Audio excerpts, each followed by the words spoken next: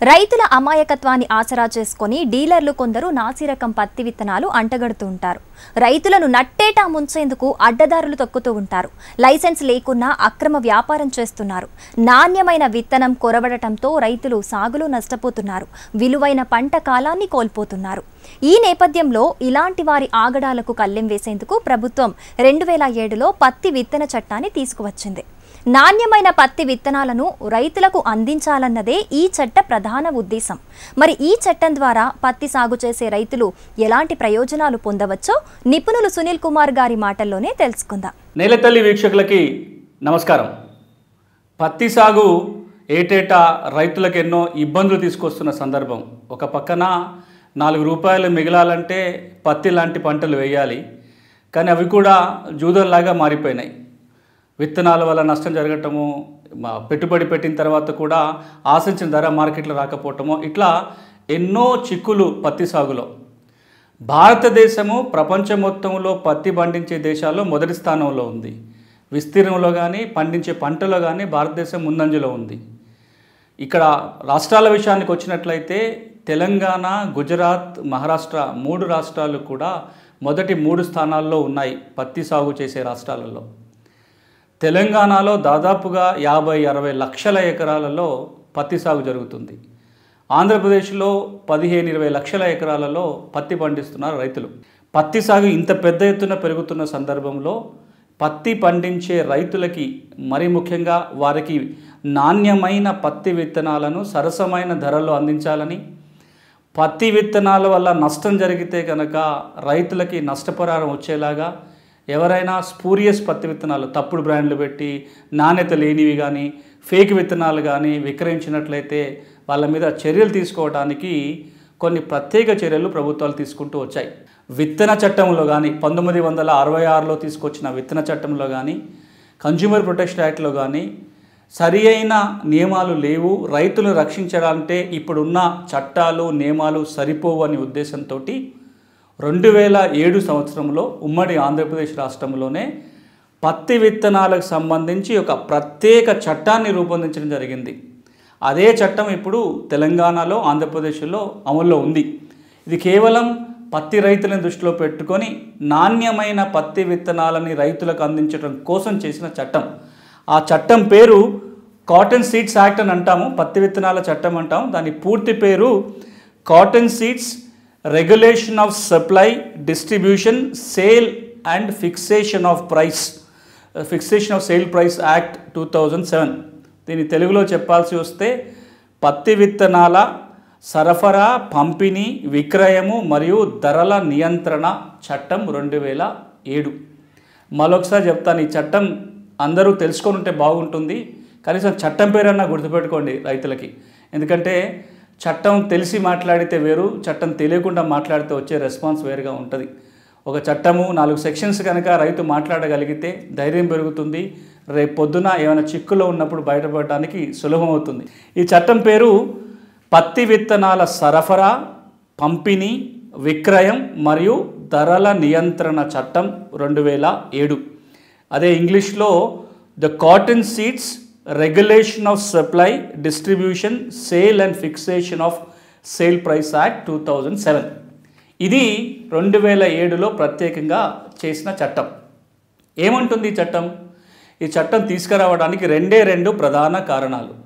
ఒకటి పత్తి విత్తనాల రేట్లు విపరీతంగా పెరిగిపోతున్న సందర్భం. ముఖ్యంగా మనం రెండు వేల నాలుగు రెండు వేల ఐదు ఆ ప్రాంతంలో చూసినట్లయితే పత్తి విత్తన ధరలు చాలా విపరీతంగా ఉన్నాయి. అంతేకాదు ఏటేటా మార్కెట్లో స్పూరియస్ సీడ్స్ తప్పుడు బ్రాండ్లు ఏదో పెద్ద కంపెనీ బ్రాండ్ పెట్టుకొని అనామకమైన విత్తనాలు రైతులకు అంటగట్టడం నాణ్యమైన విత్తనాలను చెప్పుకుంటూ నాణ్యత లేని విత్తనాలను రైతులకు అమ్మటం ఫేక్ సీడ్స్ స్పూరియస్ సీడ్స్ ఇట్లా రకరకాల మిస్బ్రాండెడ్ సీడ్స్ రకరకాల వాటితోటి రైతులు విపరీతంగా మోసపోతున్న సందర్భంలో నాణ్యమైన విత్తనాలని మార్కెట్లో అందుబాటులో ఉంచడానికి ఎలాంటి చర్యలు తీసుకోవాలి? అలాంటి చర్యలు తీసుకోవడానికే ఈ చట్టాన్ని రూపొందించారు. ఈ చట్టంలో రెండు కీలకమైన అంశాలు ఉన్నాయి. ఒకటి పత్తి విత్తన ధరలని నియంత్రించే అధికారం ప్రభుత్వానికి కట్టబెట్టడం జరిగింది ఈ చట్ట ప్రకారం.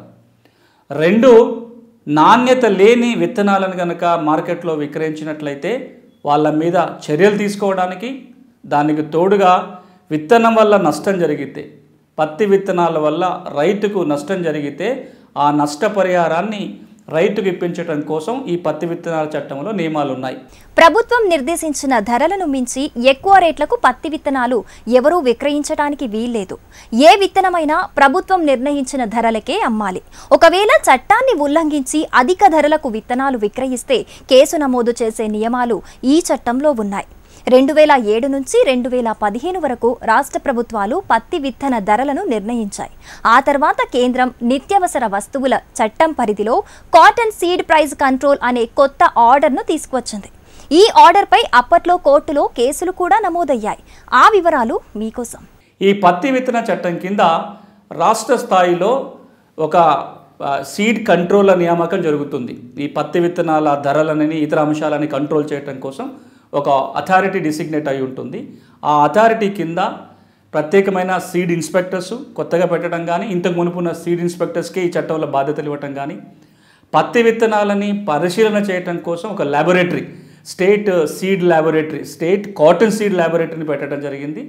అదేవిధంగా పత్తి విత్తనాల నాణ్యతను ఎప్పటికప్పుడు అనలైజ్ చేయడం కోసం సీడ్ అనలిస్టులను నియామకం చేయడం కూడా ఈ చట్టంలో జరుగుతుంది.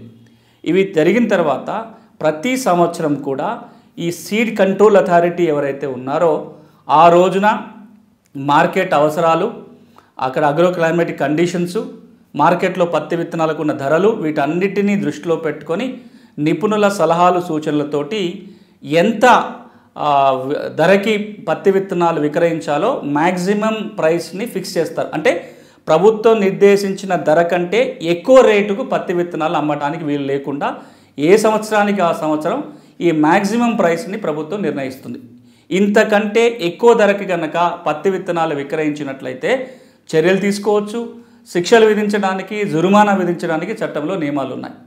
ఇక రెండోది నాణ్యత లేని పత్తి విత్తనాలను కనుక విక్రయించినట్లయితే ఆ సందర్భంలో అలాంటి పత్తి విత్తనాలని సీజ్ చేయటం కోసం ఆస్తుల్ని జప్తు చేయడానికి ఆ పత్తి విత్తనాలు మార్కెట్లకు వెళ్ళకుండా నిరోధించడానికి ఒకవేళ ఎవరైనా అలాంటి పనులు చేస్తే పెనాల్టీ విధించడానికి దాంతోపాటుగా జైలు శిక్షలు విధించడానికి కూడా ఈ చట్టంలో నిబంధనలు చేయటం జరిగింది.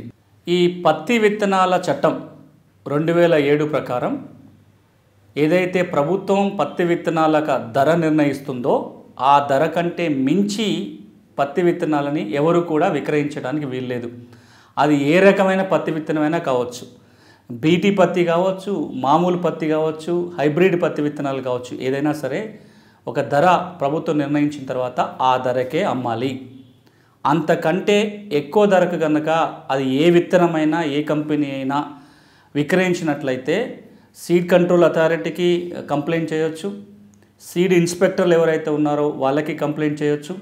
లేదా ప్రభుత్వం యంత్రాంగానికి అది రెవెన్యూ యంత్రాంగం కావచ్చు వ్యవసాయ శాఖ కూడా కంప్లైంట్ చేయడానికి అవకాశం ఉంటుంది. వారి మీద ప్రభుత్వం చర్యలు తీసుకునే అధికారం కలిగి ఉంది. ఏం చర్యలు తీసుకుంటారంటే పెనాల్టీ విధించవచ్చు మూడు నుంచి ఐదు సంవత్సరాల వరకు జైలు శిక్ష విధించగలిగే సెక్షన్స్ కూడా ఈ చట్టంలో ఉన్నాయి. కేసు నమోదు చేయొచ్చు ప్రభుత్వం. మీరు నేను కేసు నమోదు చేయడానికి వీల్లేదు. ఒకవేళ ఈ చట్టాన్ని ఉల్లంఘించి విత్తనాలు ఎక్కువ ధరకు అమ్ముతున్నట్లయితే ప్రభుత్వమే కేసు నమోదు చేసినట్లయితే శిక్షలు విధించడానికి కూడా ఈ చట్టంలో నియమాలు ఉన్నాయి. సో రైతులు కనుక ఏ సంవత్సరానికి ఆ సంవత్సరానికి ప్రభుత్వం నిర్దేశించిన ధర ఏంటో తెలుసుకొని ఉండటం తప్పనిసరి. ఇక్కడ ఇటీవల ఈ ధరల విషయంలో ఒక పెద్ద మార్పు తీసుకురావటం జరిగింది. రెండు వేల ఏడు పత్తి విత్తనాల చట్టం మేరకు పత్తి విత్తనాల ధరని రెండు వేల పదిహేను వరకు కూడా రాష్ట్ర ప్రభుత్వం నిర్ణయించేది. కానీ రెండు వేల పదిహేనులో కేంద్రం ఒక కొత్త నియమాన్ని అమల్లోకి తీసుకొచ్చింది. ఎసెన్షియల్ కమోడిటీస్ యాక్ట్ ఏదైతే అంటామో నిత్యావసర వస్తువుల చట్టం ఏదైతే ఉందో ఆ చట్టం పరిధిలో ఒక ఆర్డినెన్స్ని కేంద్ర ప్రభుత్వమే రెండు వేల పదిహేనులో తీసుకొచ్చింది. దాన్నే cotton seed price control order అంటాం. ఈ ఎసెన్షియల్ కమోడిటీ చట్ట ప్రకారం రెండు వేల పదిహేనులో నియమాలు తీసుకొచ్చుకుంటూ పత్తి విత్తనాల ధరని నిర్ణయించే అధికారం కేంద్రం తీసుకుంది. రాష్ట్ర ప్రభుత్వం ధర నిర్ణయించడానికి ఇంకా అవకాశం లేదు. ఒకవేళ రాష్ట్ర ప్రభుత్వం ధర నిర్ణయించి కేంద్రం కూడా ధర నిర్ణయిస్తే కేంద్రం నిర్ణయించిన ధర ఏదైతే ఉంటుందో అదే చెల్లుబాటు అవుతుంది. దీని మీద కోర్టులో కేసులు కూడా అయినాయి. ఒక పక్కన రాష్ట్ర చట్టం ఉంది రాష్ట్ర చట్ట ప్రకారం ఒక ధర నిర్ణయం జరుగుతుంది. ఇంకో పక్కన కేంద్రం కూడా నిర్ణయం చేస్తే ఏ ధర పాటించాల్సి వస్తుంది అని చెప్పి వివాదం అయినప్పుడు కోర్టు కూడా దీని మీద ఒక క్లారిఫికేషన్ జారీ చేస్తూ సీడ్స్ అనే అంశము భారత రాజ్యాంగం ప్రకారం ఉమ్మడి జాబితాలో ఉంటుంది కాబట్టి కేంద్రం ఏదైతే చేస్తుందో అదే వర్తిస్తుంది అని చెప్పుకుంటూ కానీ రాష్ట్ర ప్రభుత్వం చేసిన పత్తి విత్తనాల చట్టములో కేవలం ధరల నియంత్రణ మాత్రమే కాదు ఇతర అంశాలు కూడా ఉన్నాయి. స్పూరియస్ విత్తనాల కోసం కావచ్చు నష్టపరిహారం సంబంధించిన ఆ నియమాలన్నీ వర్తిస్తాయి. కేవలము పత్తి విత్తనాల ధర నిర్ణయం వరకు మాత్రం కేంద్ర ప్రభుత్వం తీసుకొచ్చిన ఈ ఆర్డర్ ఏదైతే ఉందో ఎసెన్షియల్ కమోడిటీస్ చట్టం కింద అది చెల్లుబాటు అవుతుంది ఆ ధర నిర్ణయం అవుతుంది. గత సంవత్సరం కూడా బహుశా ఎనిమిది వందల పది రూపాయలు ఏదో కే- ఒక ప్రతి బ్యాగ్కి ధర నిర్ణయించినట్టుగా మనం వార్తలలో కూడా చూసాం. ఆ ధరకు మించి కనుక ఎవరన్నా విత్తనాలను విక్రయించినట్లయితే అప్పుడు ఈ నేను ఇప్పటిదాకా మాట్లాడిన రెండు వేల ఏడు చట్టం కింద కాకుండా ఎసెన్షియల్ కమోడిటీస్ యాక్ట్లోని సెక్షన్ ఏడు ప్రకారము చర్యలు తీసుకోవడానికి అవకాశం ఉంది. కేంద్ర ప్రభుత్వం చర్యలు తీసుకుంటుంది. ఇక మరొక అంశం ఏంటంటే కేంద్రం కూడా పత్తి విత్తనాల ధరలు నిర్ణయం చేసేటప్పుడు ఒక ఎక్స్పర్ట్ కమిటీని నియమిస్తుంది. వ్యవసాయ అధికారులు వ్యవసాయ శా శాస్త్రవేత్తలు రైతు సంఘాలు కంపెనీలు అందరితో కలిసిన ఒక సంఘాన్ని ఏర్పాటు చేసి ఒక గ్రూప్ని ఏర్పాటు చేసి ఆ ఎక్స్పర్ట్ గ్రూప్ ఇచ్చిన సలహా మేరకే ధర నిర్ణయం జరుగుతుంది. ఆ ధరకే విక్రయించాల్సి వస్తుంది.